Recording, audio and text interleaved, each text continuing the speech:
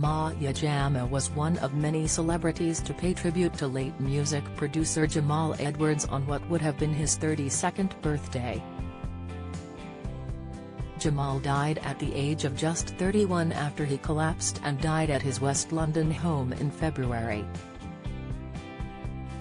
Earlier this month, a coroner ruled his tragic death was as a result of a heart attack brought on by alcohol and cocaine.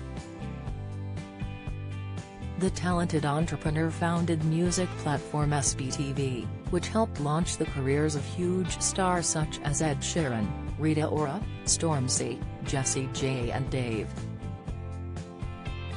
He was awarded an MBE for services to music in 2014 at the age of just 24 and was an ambassador for the Prince's Trust.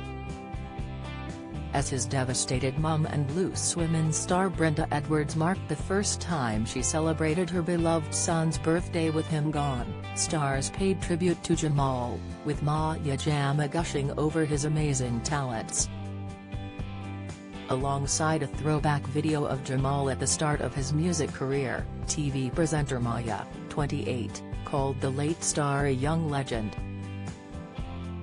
Happy birthday young legend, she penned alongside a string of heart emojis.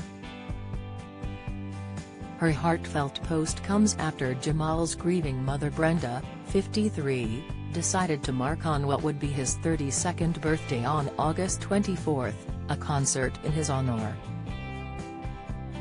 The event was held in Greenwich, southeast London and will saw musicians such as Ed Sheeran, Big Narstie and Fleur East taking to the stage, with all the proceeds from the ticket sales going to the Jamal Edwards Self-Belief Foundation.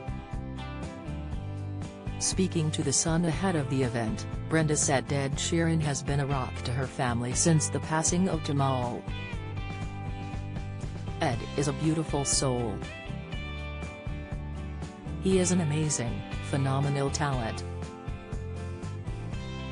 I love him and his whole family to the bone. We are close, the families are close, and he has been there and offered me support, she gushed. He is there playing to millions on tour but he is still concerned and worried about me. It warms my heart and touches my heart how so many people have come together to support us through something that is very upsetting and is still very raw. An inquest heard that on the night of Jamal's death he returned to his home in Acton around 4 am after playing a DJ set in North London. He then sat up drinking with his friend Nick Hopper, who was living in an annex of the house at the time.